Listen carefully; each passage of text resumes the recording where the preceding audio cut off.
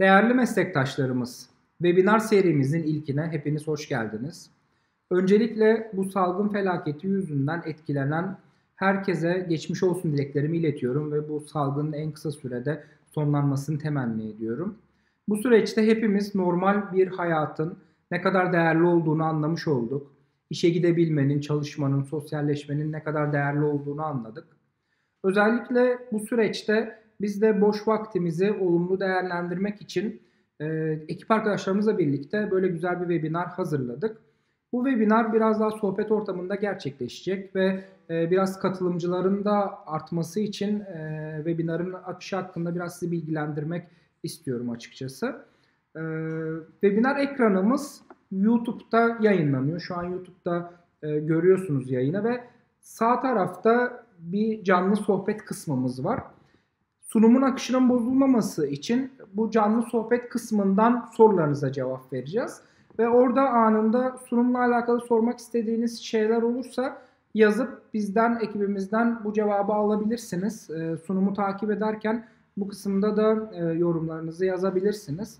Sunum sonunda dijital katılım belgesi göndereceğiz demiştik. Bu dijital katılım belgesinin linkini de e, videonun açıklama kısmına bırakıyoruz ve o açıklama kısmından tıklayarak dijital katılım belgelerinize ulaşabilirsiniz.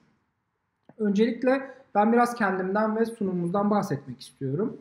Ben diş hekimi Sevgin Şen. E, rutin olarak kendi muayenehanemde daha çok estetik tedaviler ve gülüş tasarımı üzerine çalışıyorum. Yaklaşık 8-10 yıldır da e, bilgisayar programları, yapay zeka ve algoritmalar üzerine e, hobi olarak geliştirdiğim ufak tefek web siteleri, yazılımlar vesaire vardı. Ve son olarak da bu Smart Designer app yazılımını geliştirdim. Ve yaklaşık e, Eylül ayından beri e, fuara katılmıştık Eylül ayında ve Eylül ayından bu yana e, hekim arkadaşlarımıza e, bu sistemi anlatıyoruz, nasıl çalıştığını, e, bu yapay zeka sistemle ve vizajizm konseptiyle neler yaptığımızı anlatıyoruz. Bu sunumda da bunların üzerinde e, duracağım açıkçası ve e, sadece yazılım olarak düşünmeyin. Hani bu konsepte biz nelere dikkat ediyoruz? Hastalarda bir diş tasarımı yaparken e, nasıl bir yol izliyoruz? Bunu anlatacağız. Çünkü sadece sistem yazılım üzerine değil, aynı zamanda bazı e, konseptler üzerine de kurulmuş bir sistem. Yani bunu yazılımı kullanmasanız bile bu konseptleri kendi yaptığınız tedavilerinizde kullanabilirsiniz. Şu an ekranda gördüğünüz gülüş tasarımı da ve e, yazılımda göstereceğimiz gülüş tasarımları arkadaşlarımızın sunumlarında yaptığı gülüş tasarımları kendimize ait olan makalardan oluşmuş ve Sima Designer app kullanarak yaptığımız e, tasarımlar. Biz de bunların üzerinden size bazı şeyler anlatacağız. E, şimdi e, hem katılım arttığına göre e, artık yavaş yavaş sunuma geçmek istiyorum. Açıkçası biz sunumda şunu anlatmak istiyoruz. Bir gülüşü nasıl tasarlıyoruz? Gülüş tasarımı nedir ve bunu yapay zeka ve vizajizmle nasıl ortak bir paydada birleştireceğiz? Açıkçası bir gülüşü tasarlamak sadece dijital olarak değil, hani klasik olarak da e, bir not üzerine teknisyene ve laboratuvara gönderdiğimiz bir not üzerine çizdiğimiz çizimler, yazılar veya hastaya sözlü olarak anlattığımız şeyler veya model üzerinde gösterdiğimiz şeyler. Bunların hepsi gülüş tasarımının içerisine giriyor. Biz rutin kendi kliniğimizde aslında gülüş tasarımını her vakada yapıyoruz. Ama bunu dijital olarak değil belki manuel olarak belki sözlü olarak veya e, daha farklı şekilde bunları uyguluyoruz. Burada solda gördüğünüz klasik, klasik gülüş tasarım diye yazmışız. Alt kısımda e, benim meslek hayatına ilk başladığım yıllarda yaklaşık 6 yıl önce hasta fotoğraflarını aldığımda kendim elimle bazı çizimler yaparak bunları teknisyene gönderiyordum ve bu çizimler üzerinde yaptığım e, tasarımı görüyorsunuz. Burada bizim yaptığımız şey şu aslında. Hasta bize geldiğinde elimizde bir veri var. Bu veriyi e, teknisyene aktarırken e, nasıl bir yol izliyoruz ve bunu teknisyene ne kadar doğru aktarıyoruz, e, hastaya ne kadar doğru aktarıyoruz veya e, biz ne kadar yapılabilir bir planlama yapıyoruz bunu görmek istiyoruz gülüş tasarımında. Burada klasik ve dijital gülüş tasarımının arasında bazı farklar ve bazı avantaj dezavantajlar var. Aslında ikisi de planlama ama artık bilgisayar dünyasıyla birlikte bizim karşımıza daha kolay kullanılabilir, daha e, basit ve daha gerçekçi görüntüler verebilir sistemler e, geliyor. Dijital görüş tasarım bu durumda devreye giriyor. Biz bir kağıda sürekli bir şeyler yazdığımızda, çizdiğimizde bunları tekrar tekrar yapmak veya hastaya tekrar göndermek veya teknisyene aktarmak ne kadar kolay ve ne kadar pratik. Fakat dijitalde bunu anında görebiliyoruz, ölçümlendirebiliyoruz, değiştirebiliyoruz. Farklı farklı tasarımlar yapıyoruz. Bunu bu şekilde e, aktarabiliyoruz. Hem teknisyene hem hastaya aktarabiliyoruz. Dijitalin avantajları burada ve e, bunu da bazı konseptlerle birleştirdiğimizde hem hastayı memnun etme yönünde çok güzel sonuçlar karşımıza geliyor. Hem de e, bizim de zamanımızı hızlandırarak yani bu görüş tasarımına veya bu planlamaya yardımımız vakti hızlandırarak bize zaman kazandırıyor. Ve şu anda da e, sevdiklerimizle geçirdiğimiz zamanın, arkadaşlarımızla geçirdiğimiz zamanın ne kadar değerli olduğunu anladık. Ve bu yüzden de bir zamanı hızlandırmanın ne kadar önemli olduğunu buradan anlayabiliriz. Özellikle gülüş tasarımı aslında hem iki boyut hem de üç boyut olarak kendi içerisinde e, iki bölüme ayrılıyor. İki boyutlu tasarımlar daha uygulanabilir, daha kolay. Biz sadece hastadan bir fotoğraf aldığımızda bu fotoğrafın üzerinde tasarımı uygulayabiliyoruz. E, fakat e, bunu gerçeğe dönüştürme kısmına geldiğimizde bizim üç boyuta ihtiyacımız oluyor. Üç boyutta ne yapıyoruz? Üç boyutta e, üç boyutlu düzlemde katı modeller üzerinde yani bu hastanın ölçüsü olabilir, ağız taraması olabilir, teknisyenin aktardığı bir ölçü olabilir. Bunların üzerinde çalışmalar yapıyoruz. Aslında üç boyut direkt her şeyi birebir aktarıyor. Fakat uygulaması zor, çok vakit alan bir şey. Ve süreç biraz karmaşık, programlar biraz karmaşık. İki boyutlu olan kısım daha basit, daha kolay uygulanabilir. Daha az ekipman istiyor. Sadece bir elimizde fotoğraf makinesiyle veya cep telefonuyla aldığımız bir fotoğrafı hemen uygulayabiliyoruz. Ee, daha kolay fakat iki boyut, üç boyut aktarmakta bazı sıkıntılar yaşıyoruz.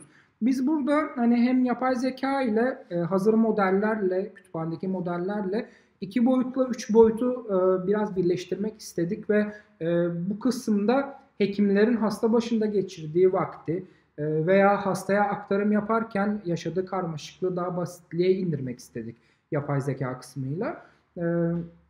Bunların üzerinde biraz konuşacağız ilerleyen slaytlarda.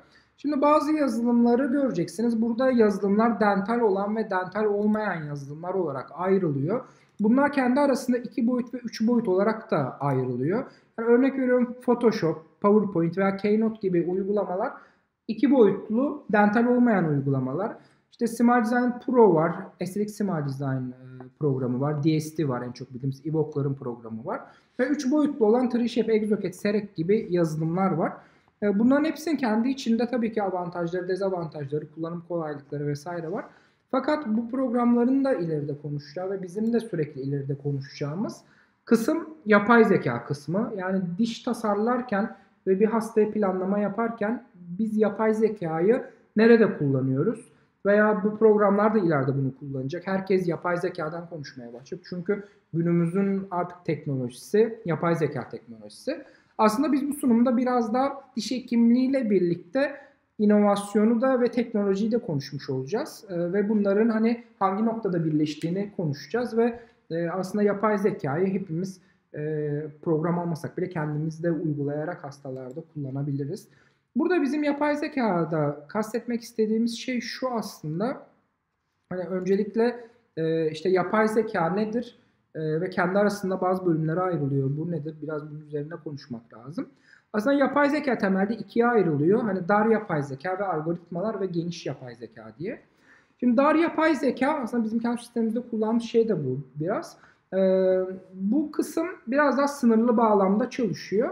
Ve aslında insan zekasının bir simülasyonu gibi yani bir yol öğretiyoruz biz bilgisayar programına. Bu yolu izleyerek bize bazı sonuçlar veriyor. Yani biz ona bazı girdiler veriyoruz.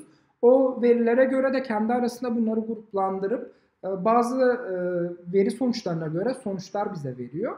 E, bunun yanında bir de geniş yapay zeka dediğimiz daha güçlü yapay zeka sistemleri var.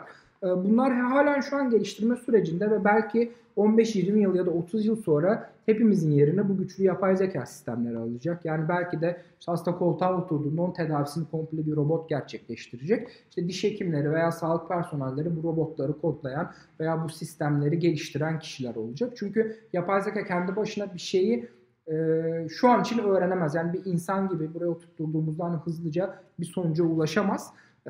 Derin öğrenme ve makine öğrenmesi dediğimiz kavramlar var. Hani bunlardan çok ufak bahsedeceğim. Bu makine öğrenmesi dediğimiz kavramlar şu. Belli bir veri kümesini sisteme verdiğimizde bu veri kümesinin karşılığında bize bazı sonuçlar verebiliyor şu anda. Ama şu an biz hani gerçek bir insan gibi hareket eden bir yapay zeka tabii ki sahip değiliz. Hani bu kısımda yapay zekanın geliştirilmesindeki e, sistemler ve algoritmalar devreye giriyor. Yani bu kısımda tabii algoritmayı da biraz konuşmamız lazım. Aslında algoritma hem matematikte hem bilgisayar biliminde kullanılan bir şey ve e, bir işi yapmak için tanımlanmış bir yol kümesi veya işlem kümesi diyebiliriz. Yani burada solda da gördüğünüz gibi bir sürü nokta var ve aralarında bağlantılar var. Bu bağlantıların hepsi belli bir işlem kümesini e, temsil ediyor ve bu işlem kümesine göre hareket ediyoruz.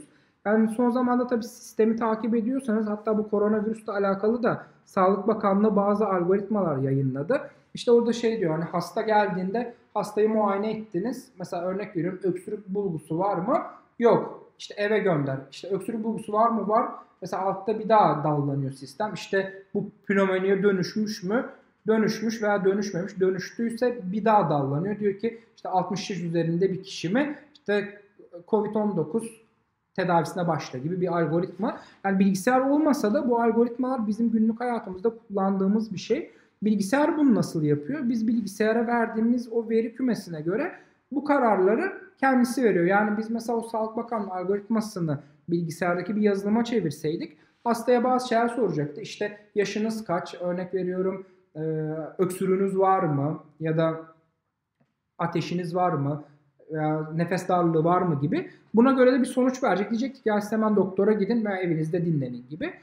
Algoritma temel olarak bu güncel bir şey üzerinden anlattım. Peki diş hekimliğinde bunu nasıl yapacağız? E, diş hekimliğinde aslında bunu vizajizm konseptiyle birleştirerek yapacağız. Burada da hani günlük rutin iş akışımızda da yaptığımız işte hastanın yüzü üçgen bir forma mı sahip? Teknisyen diyoruz ki ya biz üçgen bir form tasarlayalım. E, ve hastanın yüzü geniş bir e, kare forma mı sahip? Teknisyene diyoruz ki kare bir form tasarlayalım. Biz burada algoritmalarla vizajizm konseptini birleştirip yazılımın içinde bunlar hazır halde sunuyoruz. Ee, aslında bu yazılımın algoritmasını öğrendiğinizde bunu kendi iş akışınızda da uygulayabilirsiniz. Örnek veriyorum işte hastanın mesleği ne? Diyelim ki hastanın mesleği avukatlık veya hakimlik. O zaman ona göre bir diş formu tasarlamanın algoritması var. Yazılım bunu bizim için yapıyor zaten. Ama yazılımı kullanmasak da biz bu algoritmayı kullanarak işte mesleğe göre nasıl diş tasarlayabiliriz, hastanın yüzüne göre nasıl diş tasarlayabiliriz, e, hastanın karakterine göre nasıl diş tasarlayabiliriz? Bu konuyu konuşacağız. E, vizajizm de aslında şöyle bir kavram. Şekil ve formların insanların üzerinde oluşturduğu etkiyi inceleyen ve bunların arasındaki harmoniyi inceleyen bir e, bilim veya bir araştırma gibi düşünebilirsiniz. E, bu konuda çok değerli hocalarımızın çalışmaları var, makaleleri var. Onlarla alakalı linkleri de yine e, videonun altında göreceksiniz. E, özellikle e, hem yabancı hem Türk diş hekimlerinin güzel çalışmaları var vizajizm konusunda. E, biz de bu çalışmalar ışığında kendi kafamıza göre değil sadece dünya çapındaki makaleler ışığında e, yazılımın algoritmasına bilgiler yükleyerek o algoritmanın karşılığında bazı sonuçlar almak istiyoruz ve bunu da pratik hale dönüştürmek yani hasta başında uygulanabilir hale dönüştürmek istiyoruz. Örneğin burada sağda ve solda iki farklı hem demografik yapısı farklı olan e, hem de e, yüz formu da farklı olan kişi görüyoruz. Burada örnek veriyorum soldaki kişi muhtemelen hani Doğu Asyalı işte Çin olabilir, Japonya olabilir, Kore olabilir. Sağdaki ise daha çok Avrupalı ve Amerikalı bir karaktere sahip ve biri erkek biri kadın gördüğünüz gibi. Bunlarda da hem sadece yüz formu yapısı değil cinsiyet, işte yaşadığı e, demografik yapı e, veya mesleği veya e, bulunduğu bölge gibi çok değişik kavramlar var. E, ve bunları biz e, sisteme aktardığımızda tabii ki iki kişi için de tasarladığımız diş şekil ve formları birbirinden farklı olacak. Asıl gülüş tasarımı algoritması konusuna gelelim. Yani sunumumuzun konusu bu aslında buraya kadarki bir giriş gibi düşünebilirsiniz. Biz bu gülüş tasarımı algoritması için yaptığımız planlamanın PCT dediğimiz e, uluslararası patent enstitüsüne de gönderdik ve e, bununla alakalı araştırma sonuçlarımız da geldi. Bunu Şubat ayında göndermiştik geçen yıl. Aslında bunu iki yıldır kullanıyoruz bu sistemi. Yani ticari kısma dönüşmesi yakın zamanı aldı. Ve e, biz bunu kafamızda planladığımızda hemen patentlerine de başvurduk. Ve bu patentte de geçen aslında konu gülüş tasarımı algoritması. Yapay zeka algoritmalar, vizajizm ve diş hekimliğinin birleşmiş hali. Burada biz algoritmada diş tasarlarken hangi değişkenleri ele al- alıyoruz? Örnek veriyorum cinsiyet, yüz tipi, yüz oranları altın oran gibi, meslek, karakter veya hastanın dudak yapısı e, veya hastanın demografik yapısı bunları ele al- alarak bunların bazı e, sonuçlarına göre bizim tasarlayacağımız dişin şeklini belirliyoruz. E, aslında hem patente konu olan hem de yapay zeka ile bizim diş hekiminin birleştiği konu tam anlamıyla burada karşımıza çıkıyor.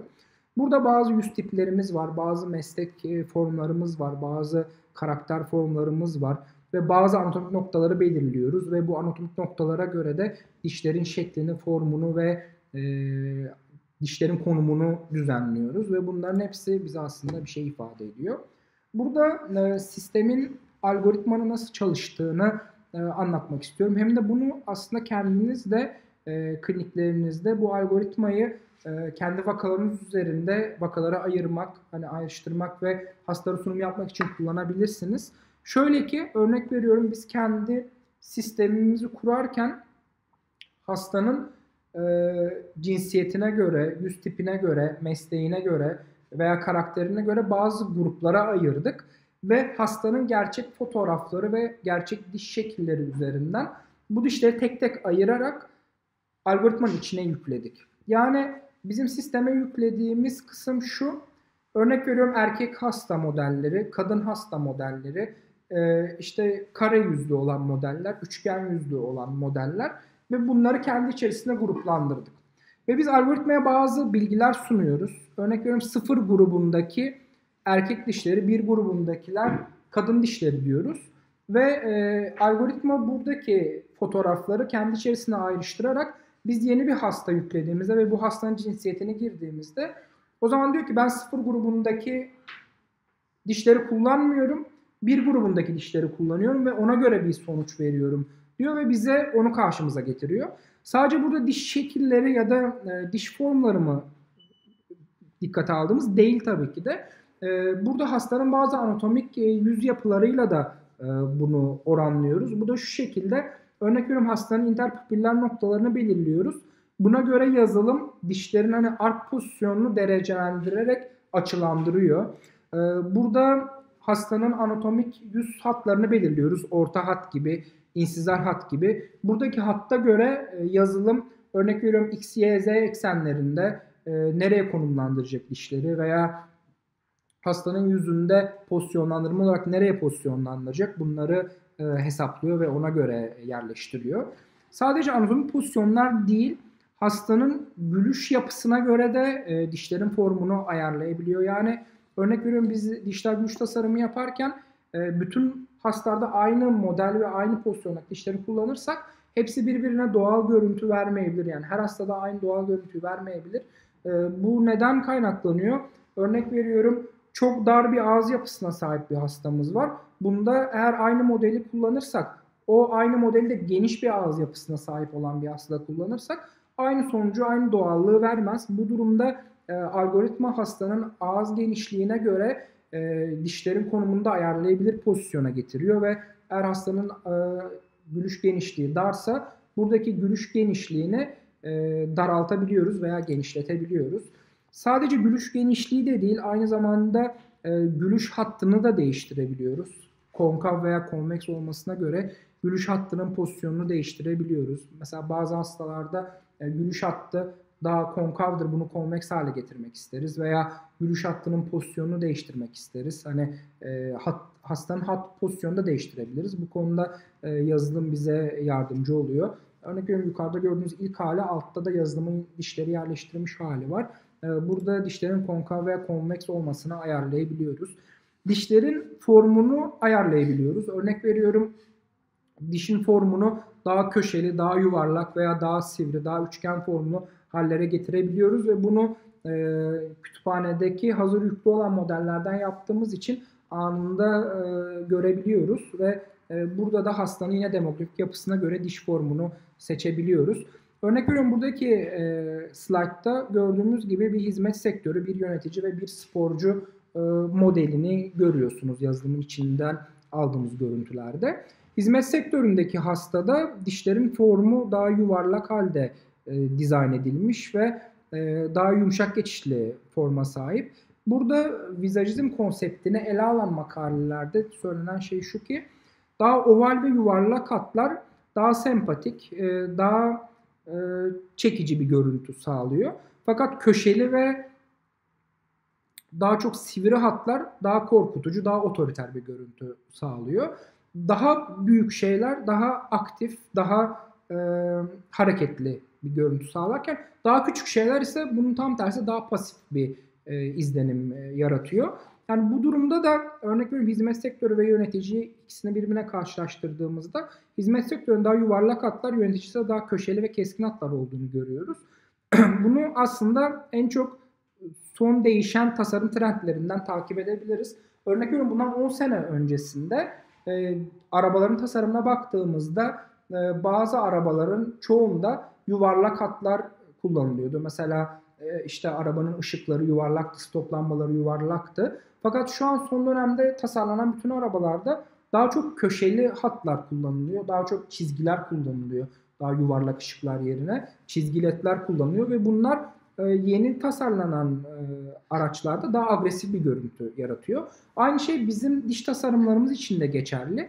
Yani burada algoritma daha yuvarlak hatlar seçtiğinde daha sempatik, daha cana yakın, daha sevimli. Ama köşeli hatlar seçtiğinde daha keskin, daha otoriter, daha korkutucu bir görüntü karşımıza çıkarıyor. Ve aynı kişi de bu farklı formları tasarladığımızda o kişilerden de e, hem demografik yapı hem de çevresinden gelen tepkiler ışığında e, bunların böyle algılandığını görüyoruz ve yaptığımız vakalarda da bunları takip ediyoruz.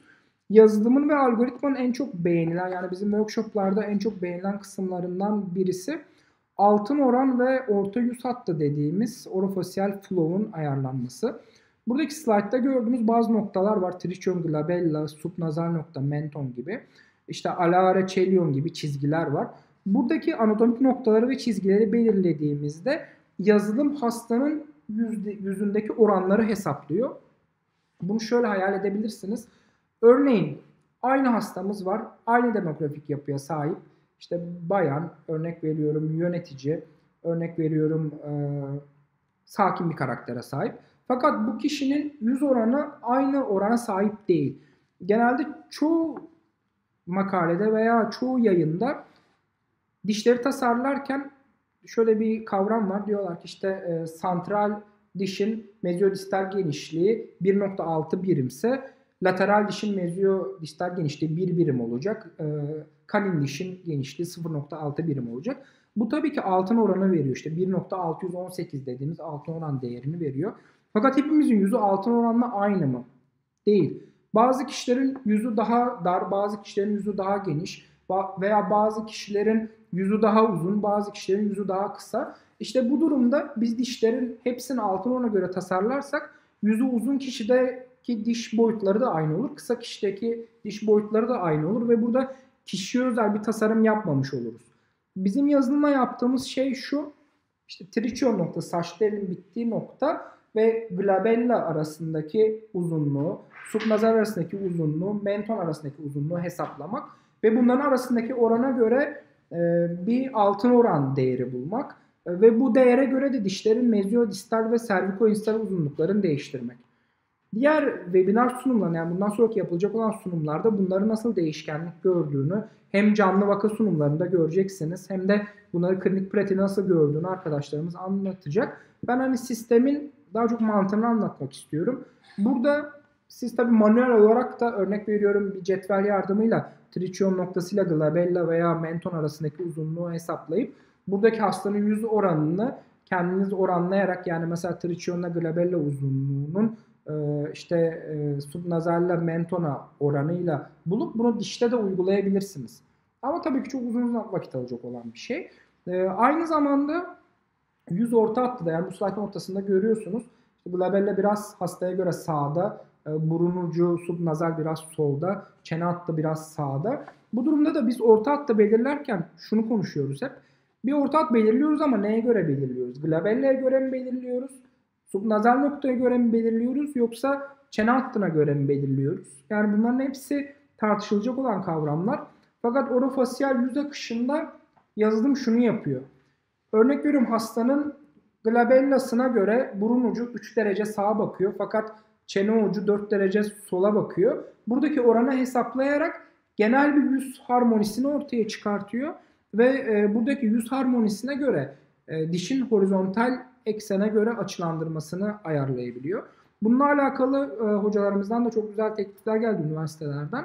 Yani bununla alakalı dediler ki biz Türkiye'deki insanların yüz akışını hesaplayalım. E, bununla alakalı bir çalışma yapalım. Hani e, güzel bir sonuç elde edilebilir veya bilimsel çalışma yapılabilir diye. E, buradaki yüz hattı herkesin birbirinin farklı. Bazısının yüzünün harmonisi daha çok sağa eğimli, bazısının sola eğimli.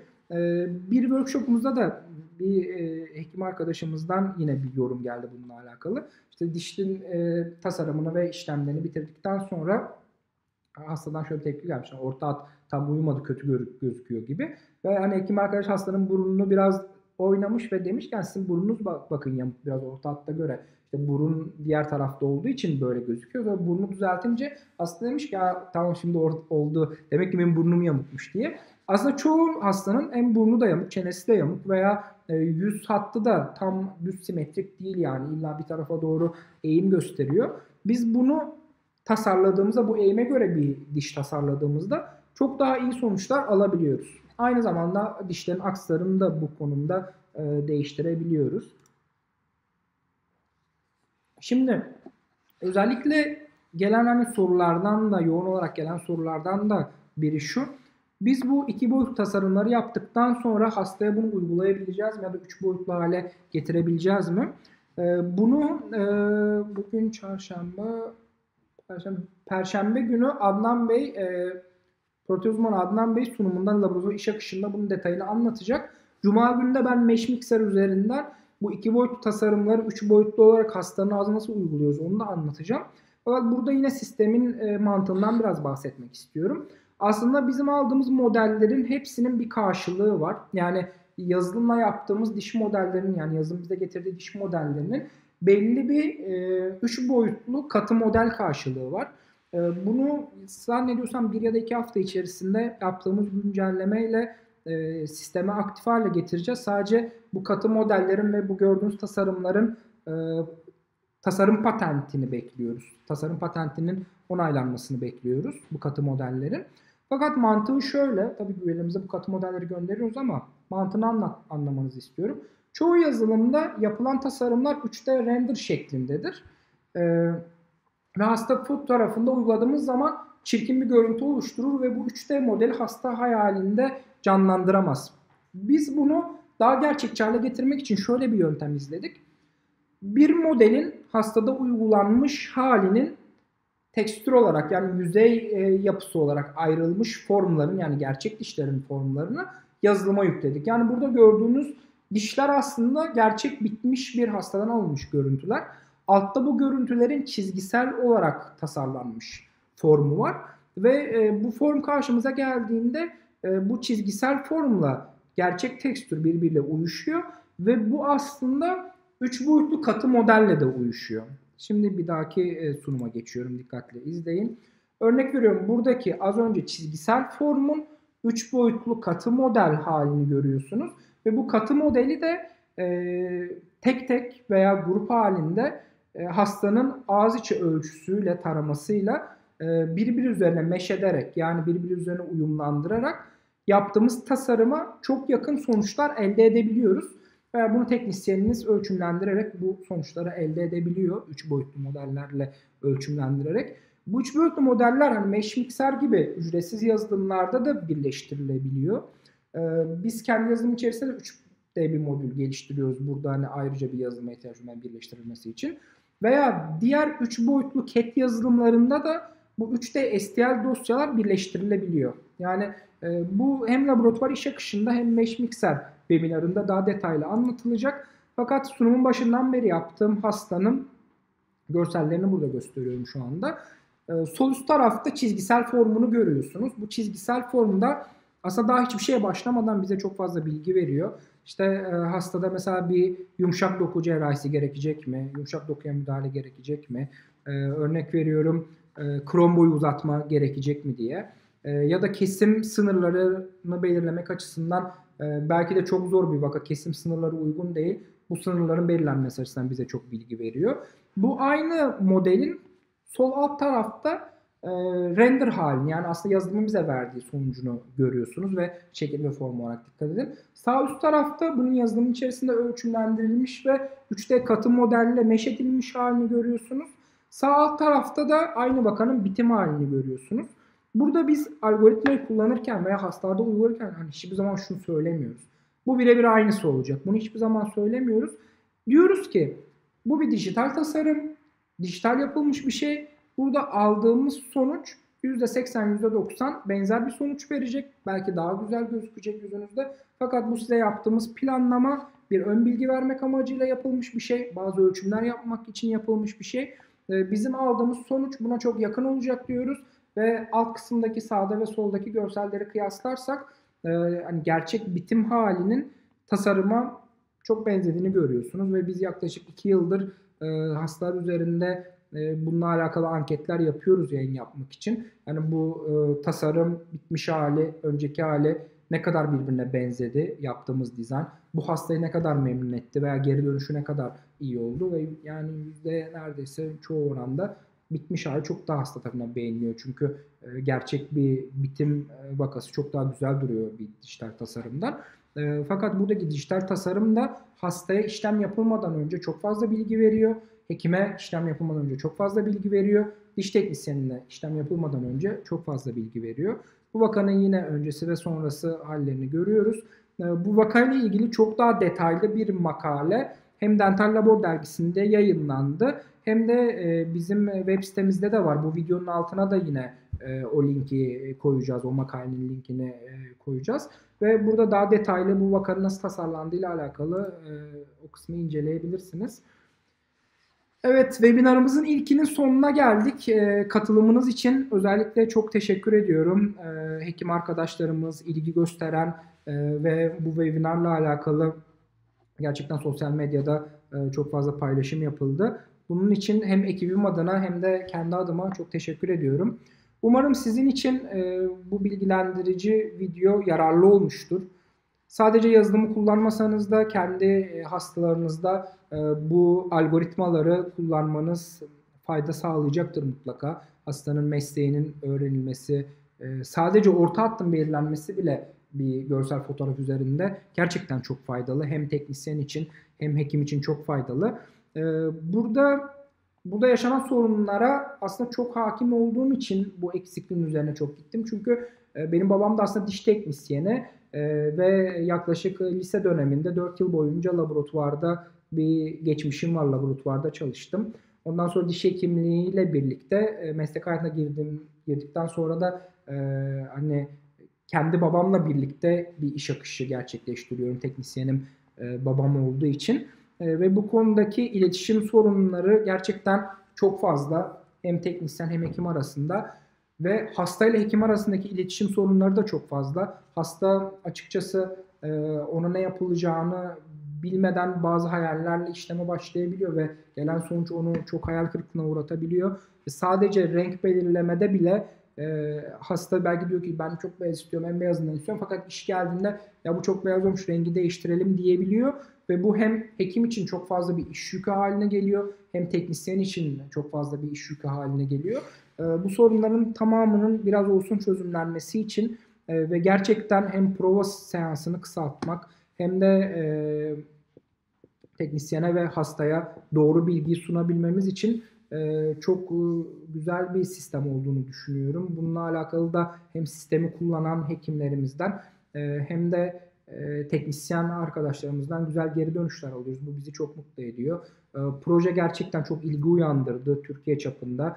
sadece Türkiye değil aynı zamanda Ürdün'den, Katar'dan, Dubai'den, işte Amerika'dan, Kanada'dan bir sürü hekim bu projeyle ilgilendi ve kullandıktan sonra da çok etkilendiler. Bu konuda biz de çok mutluyuz. Ben de kendi adıma çok mutluyum. Hani Türk diş hekimine böyle bir şey katabildiğim için ve daha çok yurt dışındaki hekimlerin böyle yazılımlar yaptığını görüyorsunuz veya şirketlerin. Biz de bu alanda kendimizi hani Türk diş hekimleri olarak biz de bu alanda varız demek istiyoruz. Ve bu anlamda da hem ilgilerinize özellikle eleştiri babında yani varsa bir eleştiriniz veya katmak istediğiniz şeyler bunlara gerçekten çok açız ve bunları çok istiyoruz böyle eleştirileri duymak kendimizi geliştirmek için. Bu konuda katılan herkese tekrar çok teşekkür ediyorum. Bizim webinarımız tamamlandı. Saat 4'te Elif Hanım klinik pratiğinde yazılımı nasıl kullandığımızı bahsedecek. Ve bu yazılımla güzel sonuçlar, güzel görseller alabilmemiz için de bu akşam saat 7'de 19'da protez uzmanı Fatih Ayçiçek dental fotoğrafçılık hakkında bazı bilgiler verecek. Mutlaka bu webinarlara da katılın yazılımı uygulasanız da uygulamasanız da kendi iş akışınızda bu bilgileri kullanmanız e, yararlı olacağını düşünüyorum. E, tekrardan çok teşekkürler. E, herkese selamlar. E, katıldığınız için çok teşekkür ederiz. Görüşmek üzere.